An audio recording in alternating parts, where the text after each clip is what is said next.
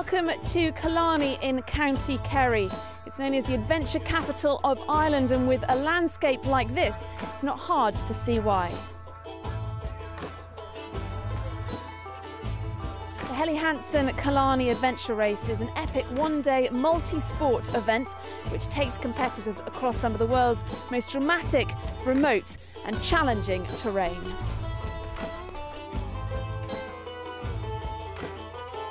Scenery is absolutely amazing. We just couldn't get any better. Mountains, lakes, blue sky. It's just amazing. Now this is a test of whether I could run uphill and walk and talk at the same time.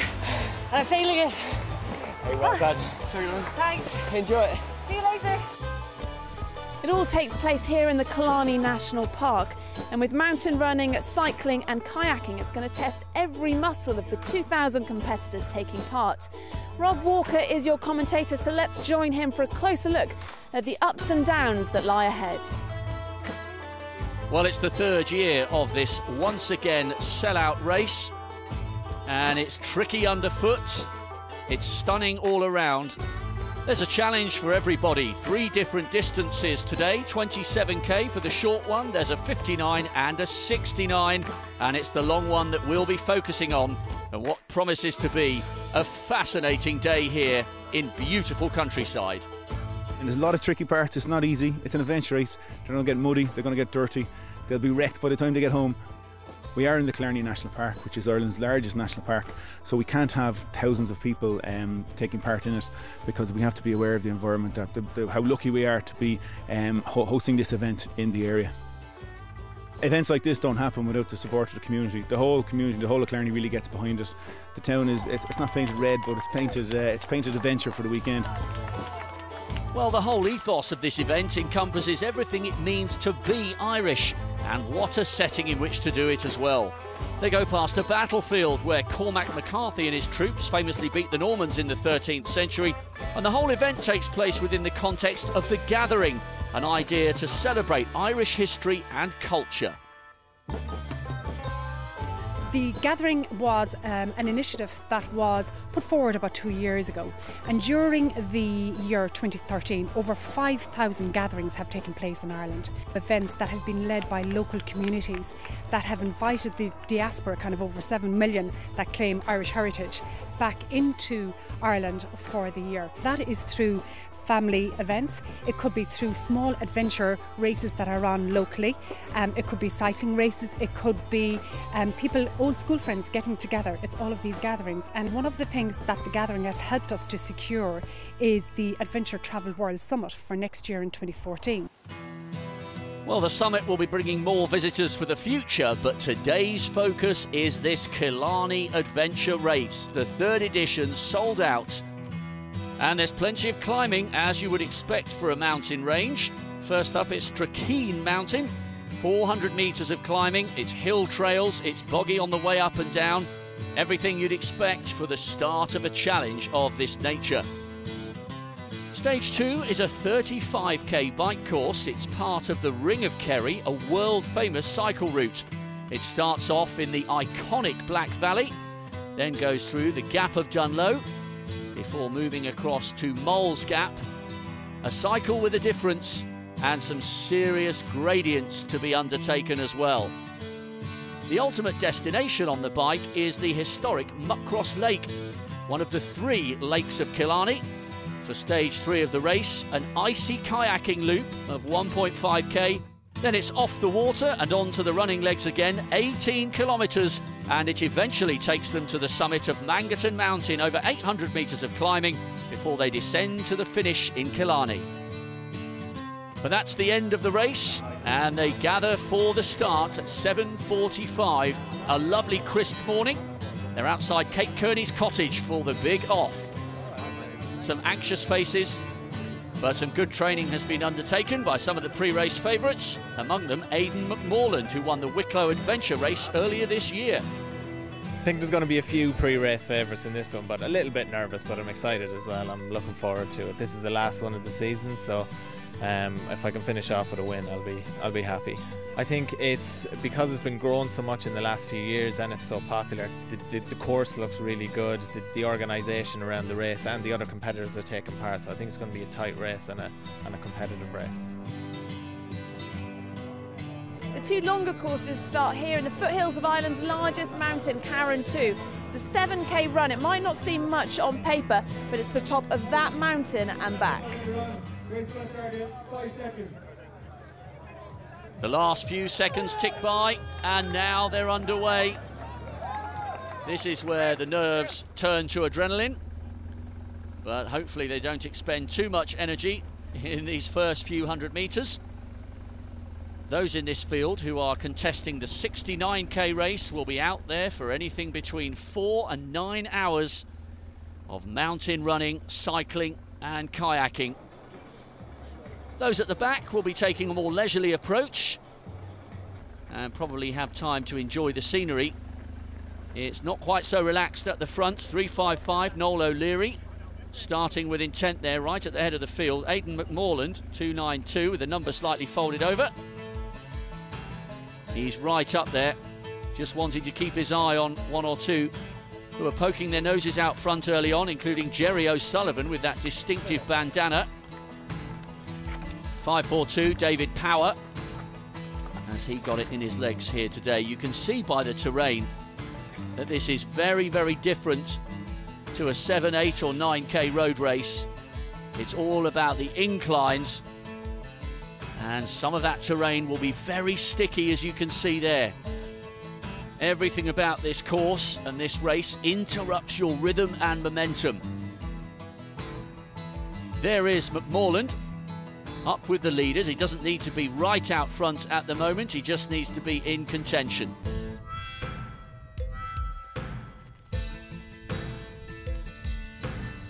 Well, one or two of these might be uh, enjoying the fresh air above the lakes of Killarney.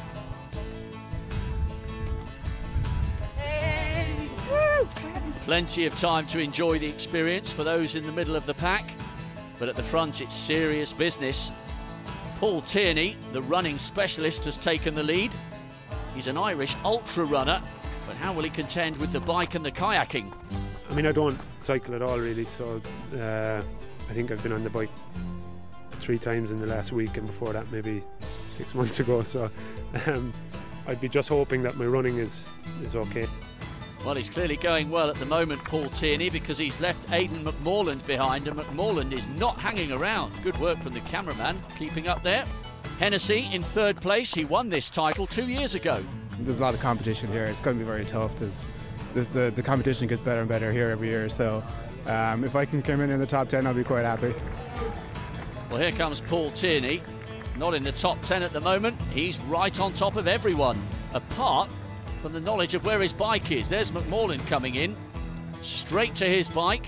He may well have saved a little bit of time there over Paul Tierney, and he does exit transition ahead of the man who came in first. So it's McMorland leading, Tierney in second place, maybe just showing a little bit of inexperience in multi-sport, forgetting where he'd racked his bike, but he's out on the course now. So, heading up the Black Valley towards the Gap of Dunloe, this 35k cycle course. Jerry O'Sullivan has managed to catch up with Aidan McMorland.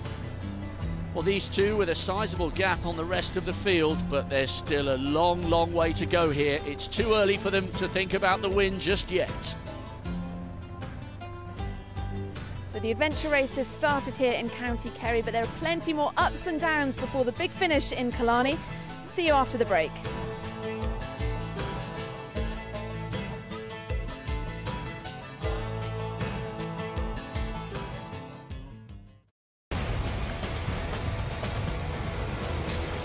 Welcome back to the Helly Hansen Killarney Adventure Race. It's a one day multi sport event with some epic scenery but some equally epic challenges. Let's catch up on the action with our commentator, Rob Walker. 2,000 competitors, and they are now strung out along this absolutely glorious, grinding, grueling course. Some really, really tough ascents. You can almost feel the lactic acid building up in those legs and there's still kayaking and mountain running to come. You can see from these images just how demanding this bike course is. And certainly for one of the pre-race favourites, well this is one of his favourite parts of the course. The 35k cycle from here back in towards Killarney, I think, is very scenic. We have uh, we cycle through the gap at Dunloe, so I think that's probably going to be the most scenic part. So I hope I have enough time to get my head up and look around and appreciate where I am. But who knows what happens in a race. Well, McMorland certainly looks as though he's in control of the 69k race at the moment. And the field are more than a little spread out. We're looking at David Power and alongside him, Ronan O'Shea.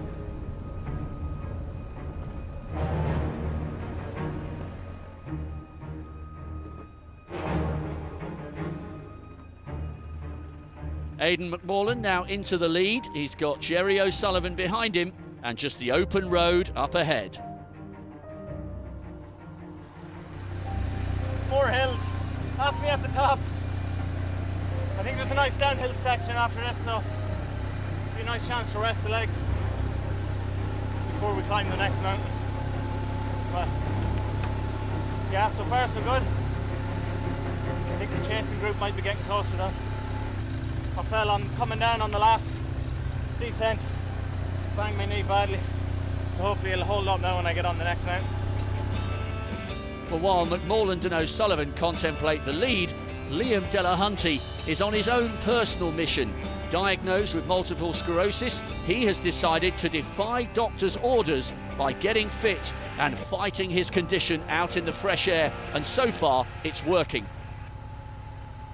I'm here this weekend. Uh, Killarney is my fifth adventure race. Uh, it's a part of 24 uh, adventure races that I've taken on for charity. Um, I'm a sufferer of multiple sclerosis, um, so I'm trying to raise funds for Multiple Sclerosis Ireland. I started this back in June.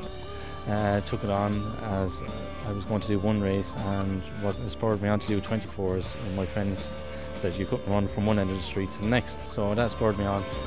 Well, Delahunty embodies the very essence of this event. It's about inclusion, and as such, there are three different distances on offer. The shortest is the 27k, the longest, the one we've been focusing on so far, is the 69. And here are the two leaders in the 59, Jerry O'Sullivan and Ronan O'Shea. And O'Sullivan is going for a hat trick. It would be nice to win it three times in a row. I haven't won any race three times in a row, so it would be nice. It's important enough, it's my local race. Um, I won the National Series last year on the sport races, which are usually between 30 and 40 kilometres, so this is slightly longer than I normally do. It's kind of my home patch, so it's nice to do well in it. Fortunately, I won't get much time to look at it. I'll have to head down. And but in fairness, we train around here now and again, and it is fabulous here. You couldn't ask for nicer scenery.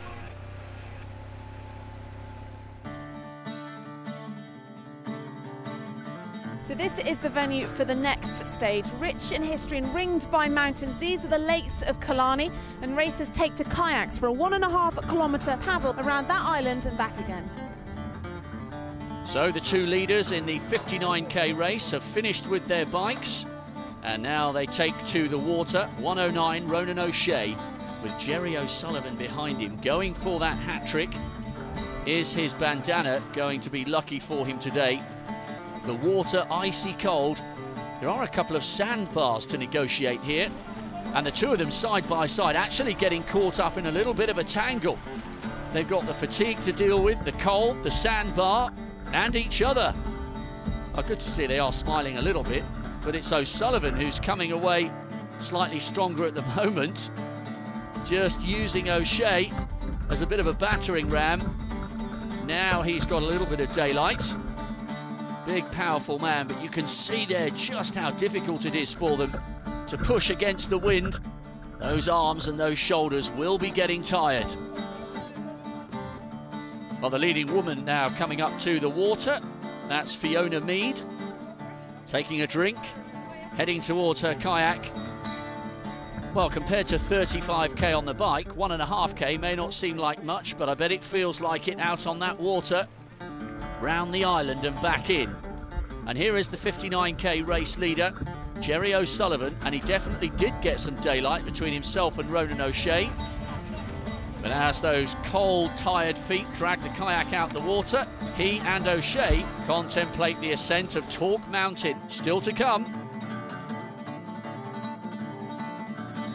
So the penultimate stage of this race is yet another mountain run, right to the top of this nearer one for the 59 kilometre competitors, or a really serious climb to the top of Mangerton Mountain for the long course competitors. Well, Eric Wolf is now our new leader because the man who was carrying the mantle in the 69k race took a wrong turn and had a puncture. And that means Aidan McMorland has some work to do in these closing stages if this title is to be his. The really tough parts, I think, are the second run up around Mangerton Mountain because after doing 35 kilometres on the bike, the legs are really tired. It's been raining a lot this week, so it's going to be pretty sticky and heavy there. So I think that's going to be the toughest part of the race. This year I've worked a lot on my mountain running, so I think um, if I can get to Mangerton with, with the lead group, I can put in some time on the ascent. And uh, this year I've been quite fast coming down the mountains as well. So um, I think it's when you're pushed quite hard. I think you can just put injuries and falls aside and just go for coming down the mountain. So mountain run is my strongest this year. I think that mountain is going to. Uh, I think that's going to separate the winners from the losers at the end of the race. So Wolf leading McMorland second and Adrian Hennessy going well in third place at the moment as they traverse Cormac's Haggard, the battlefield where the Irish famously beat the Normans in the 13th century. Not only great scenery, but superb history being enjoyed and passed here in sunny conditions. Now, earlier on, we were looking at the leading lady. That was Fiona Mead wearing 216. But she has since been passed by a very fresh looking Marie Boyle. Clearly feeling comfortable as she ascends Mangerton Mountain. Can she hang on for the win? Worse you.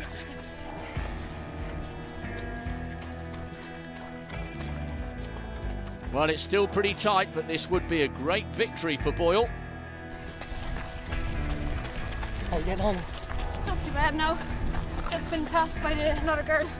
She's gone into first. So uh, I'll just keep going.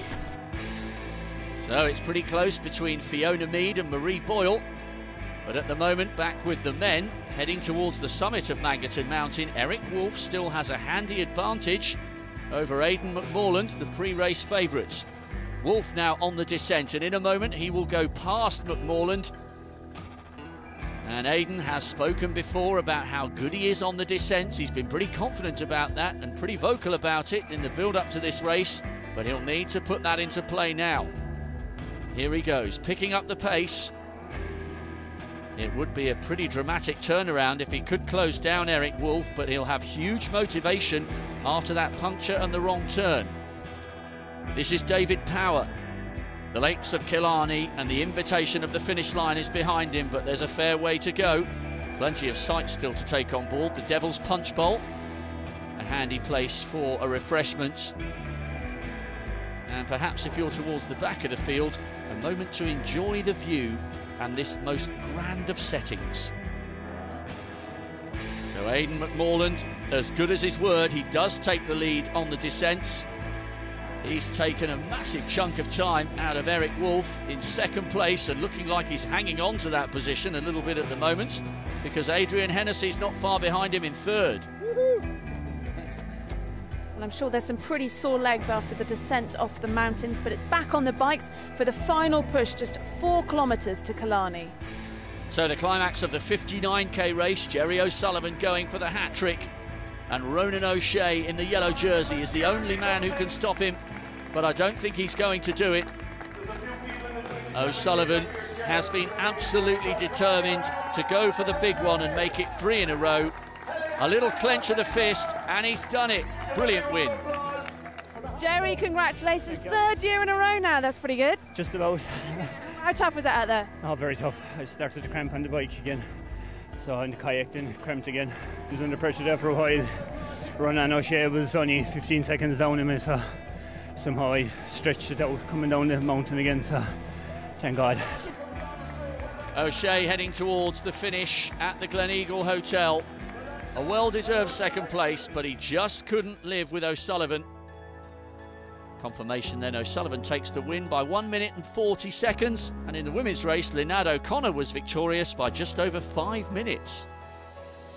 Meanwhile, the 69k boys and girls are out on the course, and it looks at the moment as though McMorland is going to overcome those mishaps and close in on the win.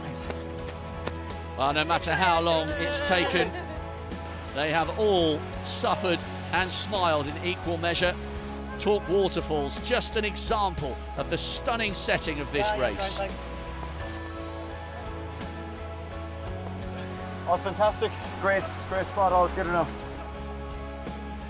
Well, there's no doubt who this fabulous day belongs to. It's Aidan McMorland in just under four hours, and after overcoming a wrong turn and a puncture, he is the Killarney Adventure Race champion for 2013. What a way to seal the win. Aidan, congratulations. First 69 kilometre competitor across the line.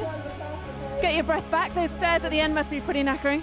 Yeah, my calf started to cramp going up the steps there, so that final mountain climb was so tough. I think that was the toughest that was the toughest mountain run I've done this year. Well, the damage was done by McMorland on that last descent, but all credit to Eric Wolf, a great second place. He's played his part in a wonderful contest. That was pretty hard, actually. Uh, got to learn to run downhill. I got caught by the leader there on the downhill, and he just flew away from me.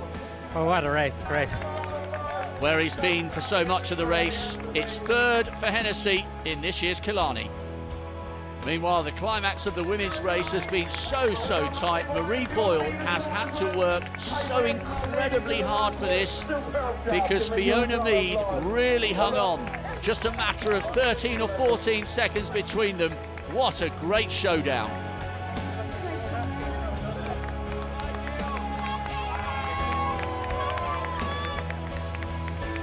Confirmation of the results on those two elite races. McMorland, those fast descents did the damage on the rest of the field. Wolf five minutes adrift, and Mead losing out by just 13 seconds to Marie Boyle. Meanwhile, Liam Delahunty closing in on the finish line. He's been hugely supported all along the way. What a story. Suffering from MS and fighting it with fitness. He's on a fundraising mission to complete 24 adventure races this is the fifth instalment and it's job done. Congratulations, you've finished. How are you feeling?